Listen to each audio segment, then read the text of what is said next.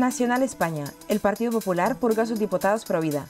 La dirección del Grupo Parlamentario Popular ha sustituido a los diputados pro vida que formaban parte de la representación del PP, 23 diputados, en la Comisión de Sanidad del Congreso de los Diputados. Pretendía y ha logrado el equipo de Rafael Hernando que ninguno de los suyos rompiera la disciplina de voto y apoyara las enmiendas de UPN a la mini reforma del aborto que promueve el PP. Se trata de una batería de enmiendas que recogen los argumentos que el propio PP utilizó en su recurso de inconstitucionalidad contra la ley AIDO. La dirección del PP en la Cámara Baja ha salvado un escollo con estas sustituciones y no ha permitido que trascendiera la oposición que en su propia bancada existe contra la reforma del aborto que muchos consideran insuficiente y aval de la vigente ley socialista. Pero la próxima semana, cuando la modificación llegue al Pleno del Congreso, la dirección parlamentaria no podrá sustituir diputados y la fractura será pública. En total, más de 5 de los 23 diputados del PP en la Comisión de Sanidad han sido sustituidos por la dirección del grupo este martes. Se trata de la diputada Eva Durán, que votó contra la admisión a trámite de la mini reforma de su partido, Lourdes Méndez y Antonio Gutiérrez, y de los diputados Antonio Román y José Miguel Castillo, que también se han caracterizado por su defensa de la vida.